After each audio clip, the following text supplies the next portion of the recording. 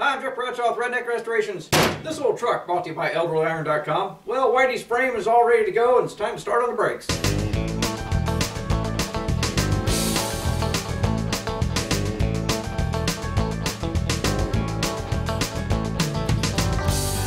If you have been so inclined to follow Project Whitey from beginning to end, in the very beginning we had this brake booster unit. Now it's time for that to go in. But before we do that, there's a brake cable that needs to go into place first and all the linkage therewith. So, I happen to have a brake cable and the hardware therewith. I'll start things off, we'll use some brake cables that we got from Lugo Parts at lugoparts.com. I'm going to thread them through the mounts and the frame. All we're going to do is fit up. I don't have any I don't have any guts in the brake drums yet because I didn't get to this part yet. Already laid out my brake lines once, which I think will run into an issue. The intermediate lever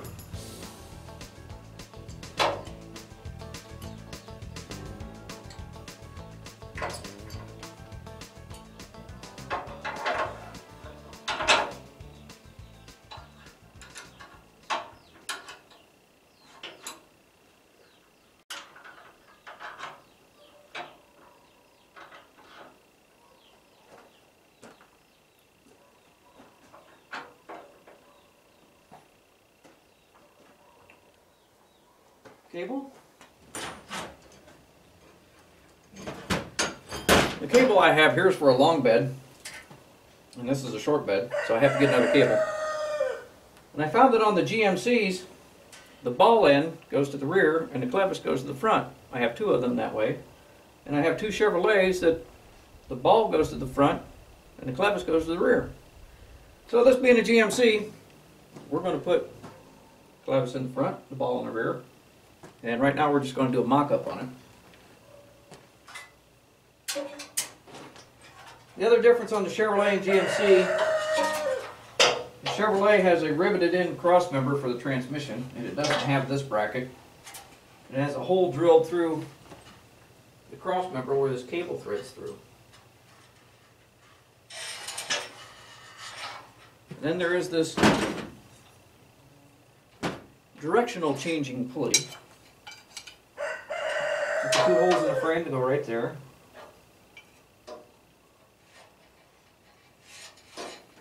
So it has to go below the master cylinder bracket because you cannot have your park brake cable rub on anything.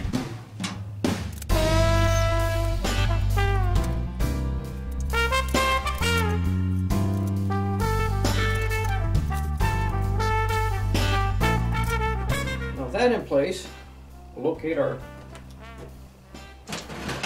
tandem brake master cylinder and booster. Where's them big bolts? There. Houston, we have a problem. It seems we have a bit of interference.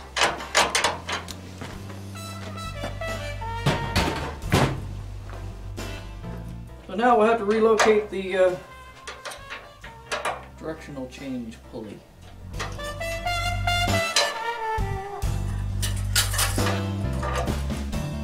I have to mock up the uh, booster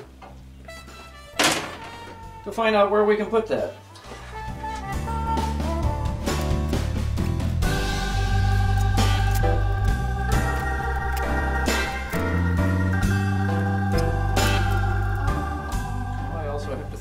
Cable through here.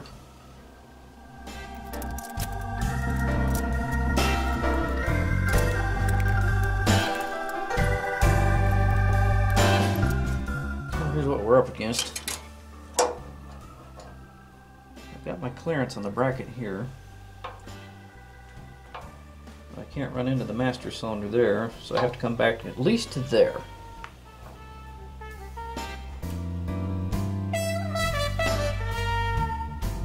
Gives me clearance on the master cylinder. However, once you change the angle of this, you have this bracket to contend with because now the cable is stretched across the edge of that bracket. Most would say this is not going to work. But we're just going to have to make it work.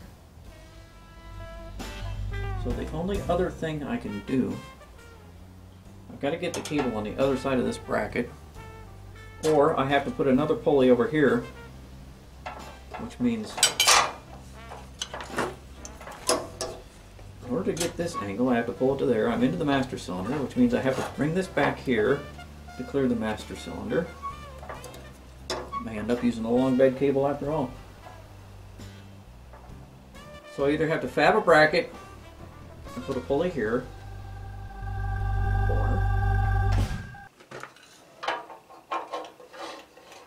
the less angle the better. So if I'm going to go here, I really can't go any farther than that with this. Isn't that?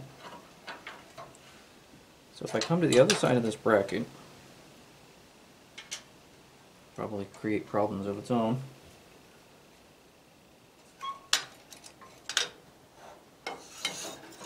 Like the cable going on top of the wheel instead of in the groove.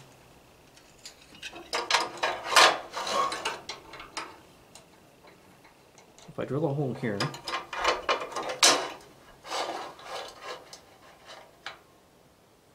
I can move that all the way up to there if I want.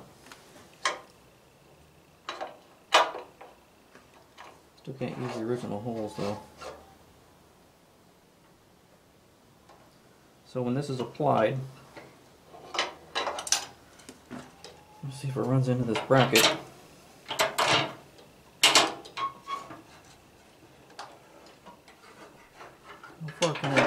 Whoop.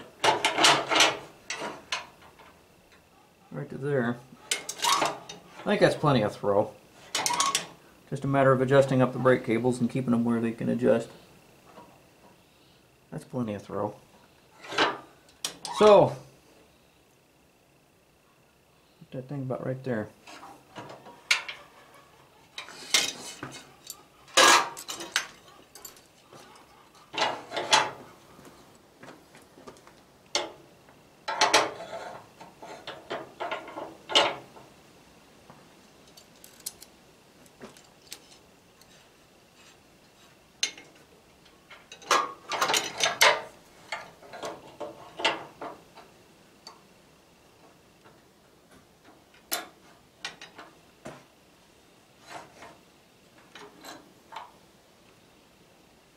There's two levers on this thing.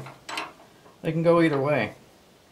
But I found that if you stick this one in here, the angle of it is kind of steep. And it works much better in this manner. It's more of a straight on pull.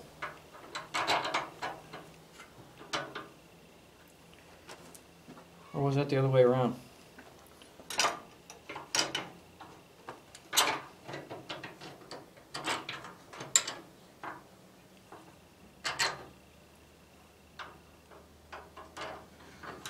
Guess it was the other way around.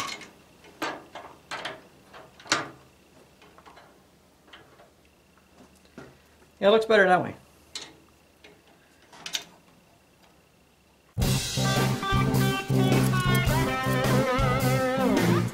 Probably not right there. I want the I want the closest straight on angle at the full pull.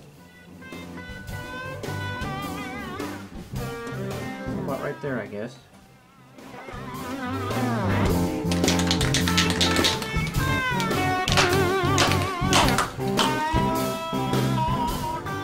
It looks like right in between where that big hole goes.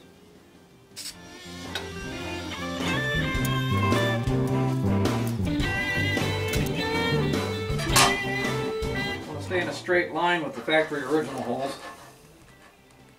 Because that's where it was designed to go.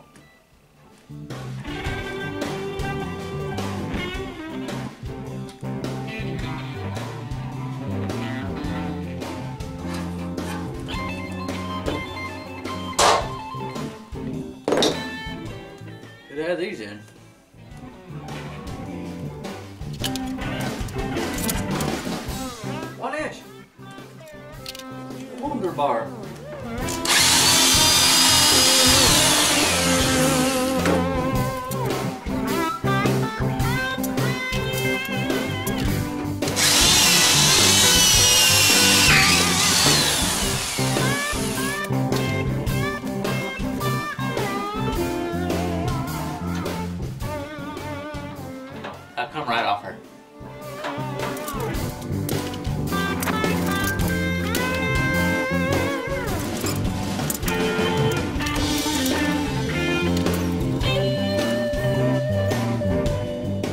Got to come up a wee bit. Just a little bit of drag on that bracket.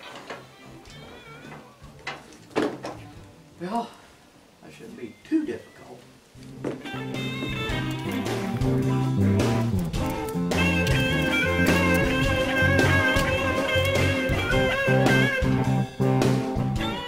That ought to do it.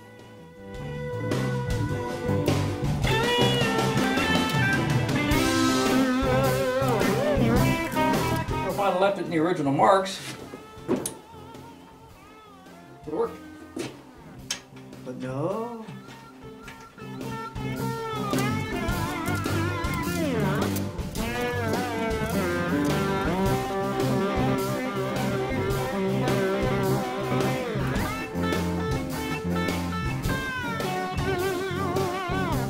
Not much clearance, but clearance nonetheless.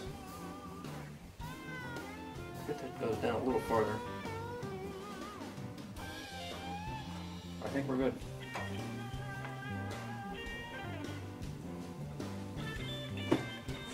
So with everything where it belongs, we can get to bolting this up.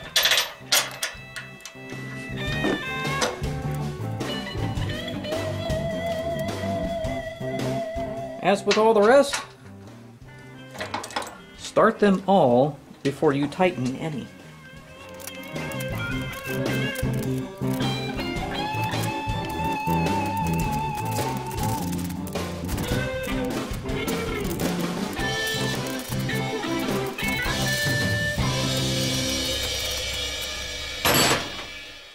And then the original brake pedal goes on here,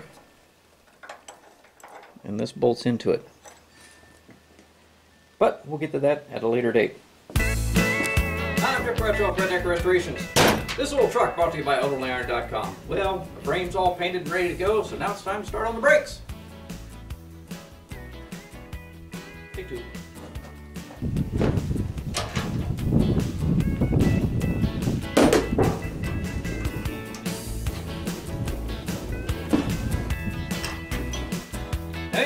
So been, take two.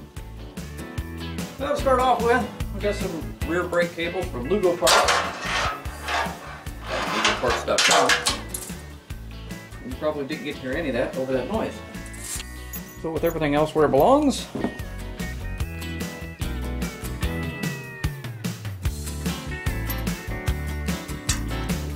Hi, I'm Jeff Bradshaw Redneck Restorations. This little truck brought to you by ElderlyIron.com. Well, Project Whitey's all framed up and ready to go. Take three.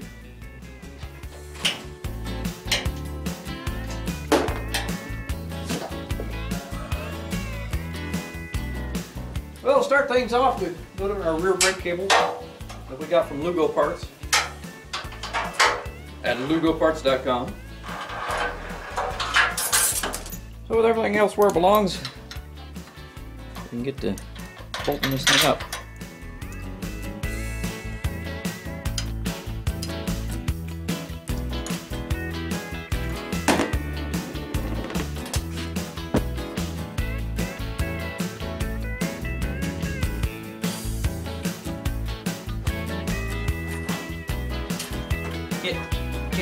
Get, get, get, get, get, get. Oh.